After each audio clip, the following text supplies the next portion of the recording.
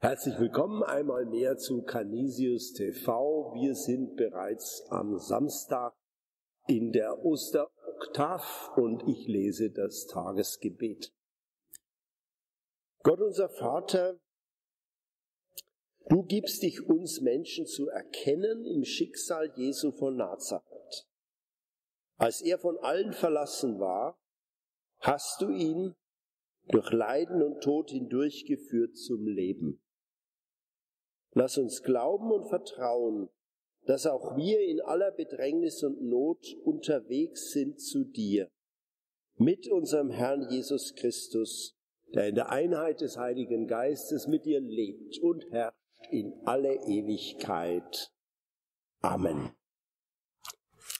Ich lese aus der Apostelgeschichte, wir sind im vierten Kapitel. In jenen Tagen, als die Führer sowie die Ältesten und die Schriftgelehrten den Freimut des Petrus und des Johannes sahen und merkten, dass es ungelehrte und einfache Leute waren, wunderten sie sich. Sie erkannten sie als Jünger Jesu, sahen aber auch, dass der Geheilte bei ihnen stand so konnten sie nichts dagegen sagen. Sie befahlen ihnen, den Hohen Rat zu verlassen. Dann berieten sie miteinander und sagten, was sollen wir mit diesen Leuten anfangen? Dass offensichtlich ein Wunder durch sie geschehen ist, ist allen Einwohnern von Jerusalem bekannt. Wir können es nicht abstreiten. Damit aber die Sache nicht weiter im Volk verbreitet wird, wollen wir ihnen bei Strafe verbieten, je wieder in diesem Namen zu irgendeinem Menschen zu sprechen.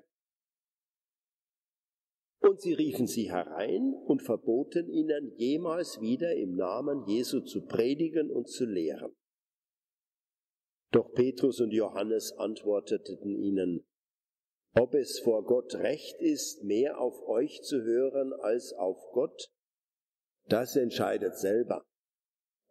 Wir können unmöglich schweigen über das, was wir gesehen und gehört haben.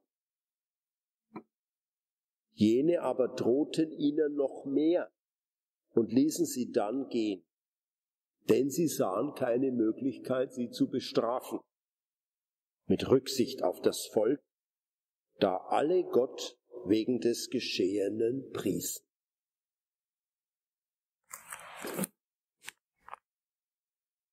Liebe Zuschauerinnen und Zuhörer, die Erfahrung der Auferweckung Jesu war so wuchtig und hat die Jünger so überwältigt, äh, dass sie diese Wahrheit unmöglich für sich behalten konnten, sondern sie mussten sie gleichsam weiter erzählen.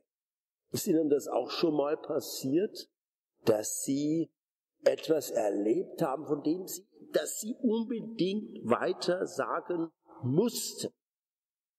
Dass Sie vielleicht bei einem Verwandten oder einer Freundin angerufen haben, um das zu erzählen.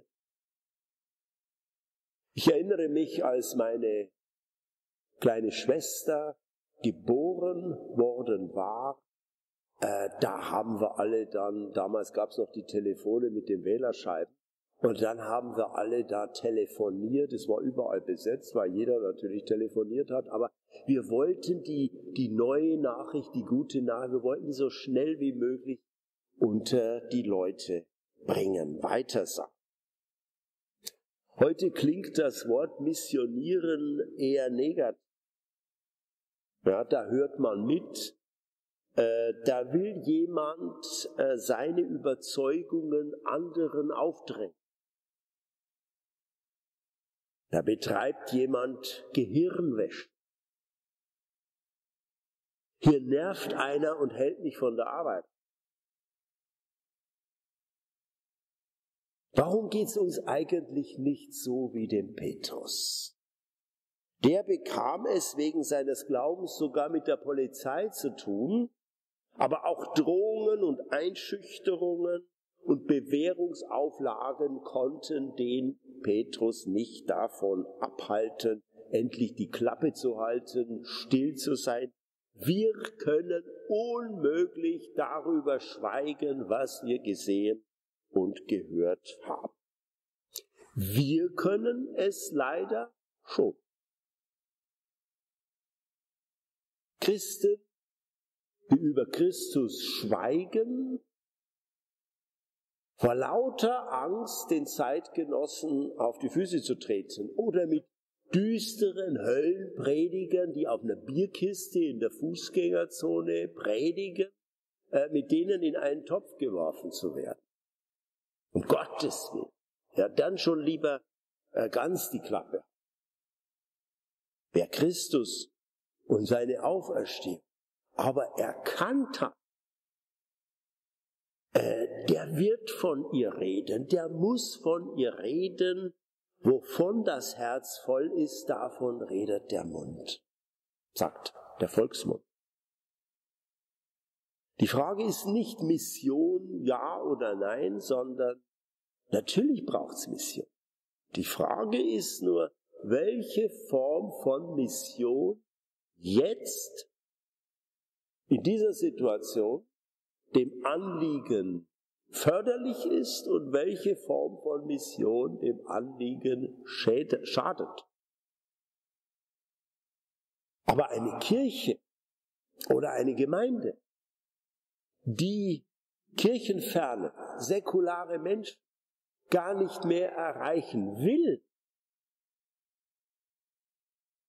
die hat unter der Hand, bewusst oder unbewusst, eine lebensrettende Botschaft für die Welt gegen ein unverbindliches philosophisches Traktat eingetauscht, von dem man in der Tat fragen kann und muss, äh, braucht die Welt sowas überhaupt?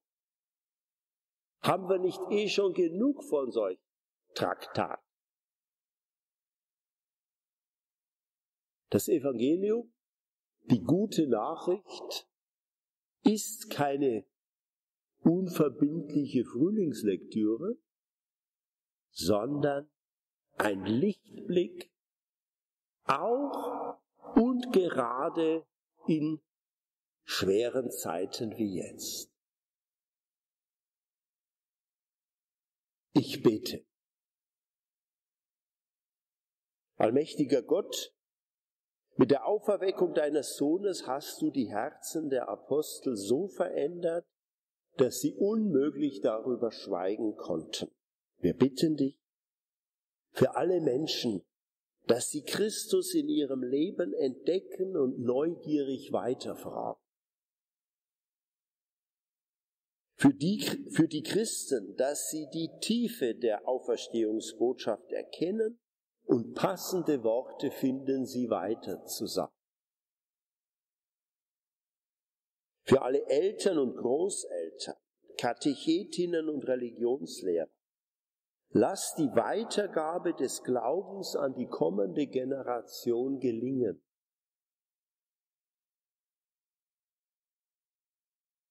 Wir beten in einer kurzen Stille in unseren persönlichen Anliegen.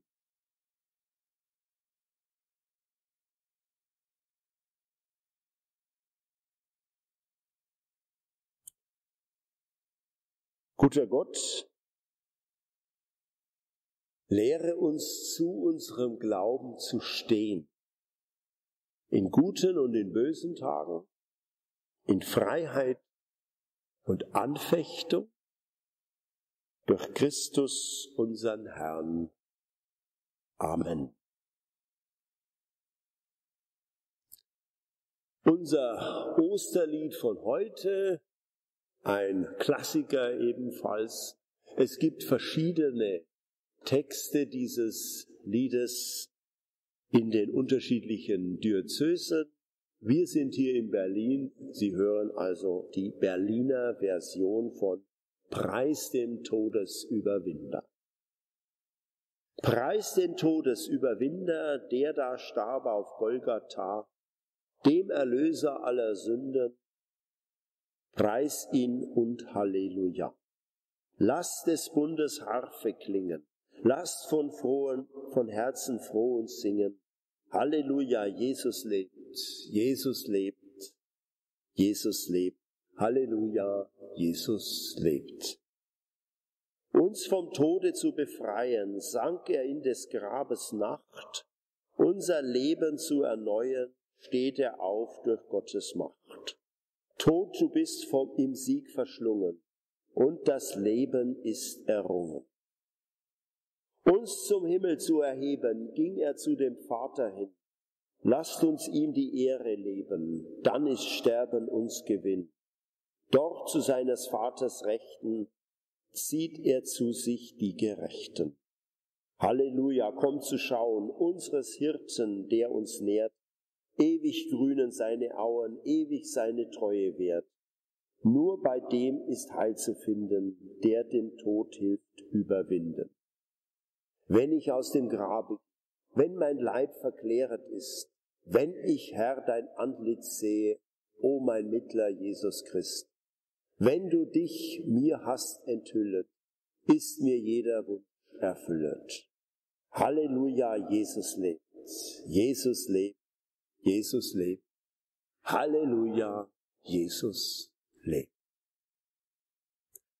Und in dieser Gewissheit, Jesus lebt, möchte ich Ihnen den Segen zusprechen. Der Herr sei mit euch und er segne euch. Der Vater und der Sohn und der Heilige Geist. Amen. Morgen ist Sonntag, Auferstehungssonntag. Ich freue mich auf Sie. Auf Wiedersehen. Bis morgen.